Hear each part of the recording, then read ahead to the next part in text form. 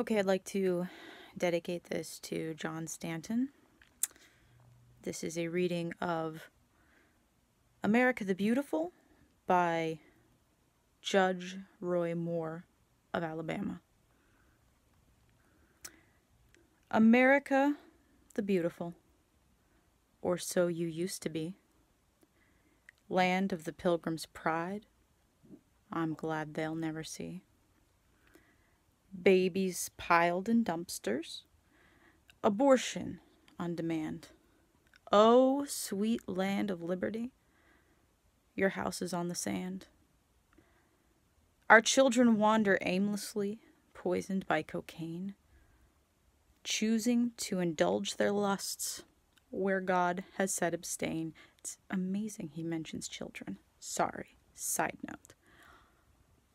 From sea to shining sea, our nation turns away from the teachings of God's love and in need to always pray. We've kept God in our temples. How callous we have grown. Appointing godless judges who throw reason out the door. Too soft to place a killer in a well deserved tomb. I assume he meant deserved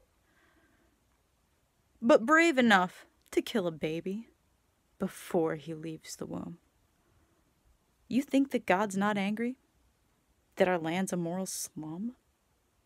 How much longer will he wait before his judgment comes? How are we to face our God for whom we cannot hide? Oh, sorry, from whom we cannot hide? What then is left for us to do but stem this evil tide? If we who are his children will humbly turn and pray, seek his holy face and mend our evil way, then God will hear from heaven and forgive us of our sins.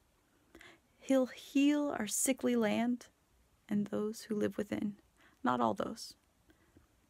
Just saying.